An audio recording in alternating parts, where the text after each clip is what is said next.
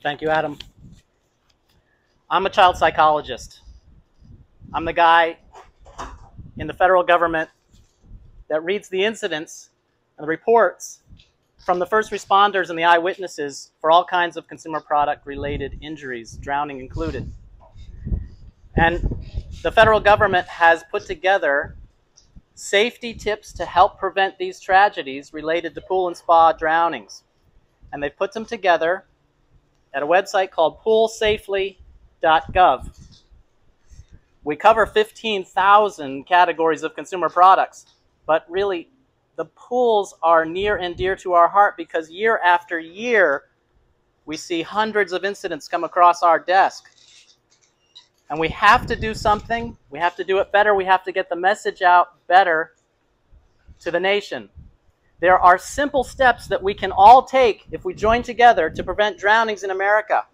And these simple steps and the advice and recommendations have been compiled at poolsafely.gov.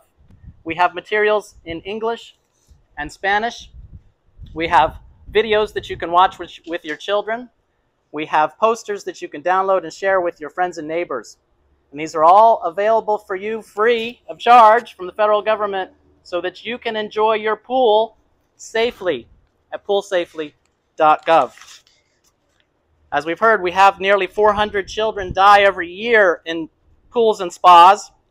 It's the leading cause of childhood fatality for children between the ages of 1 and 4. It especially hits the black community more dramatically than it ought to. We need to get the word out this drowning problem that we face in our nation is preventable.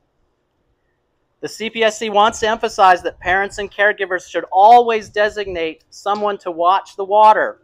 And lots of organizations have water watcher tags that they will give out for free so that you hand this to the next person who's in line and they know they put that lanyard around their neck, they're in charge until they hand it off to the next person. It's a great idea.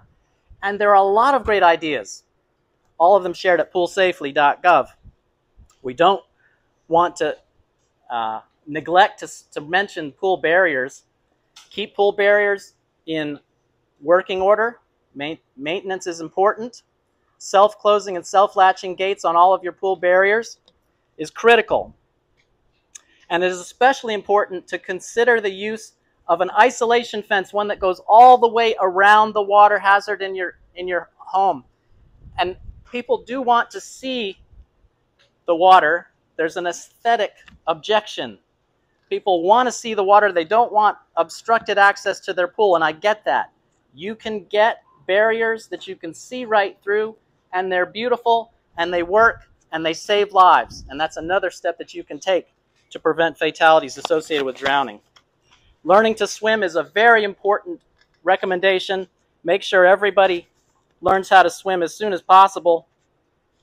And sign up at poolsafely.gov for our, our social media accounts, available also in English and Spanish. And learn about what supervision really means around a pool. Our goal really is to keep reducing the number of parents who, who don't know how prevalent drowning is. So share with your friends. This happens all the time. This happens when all sorts of families. Drowning can happen to your family even though you maybe don't think that it would. Drowning is a very preventable injury hazard pattern.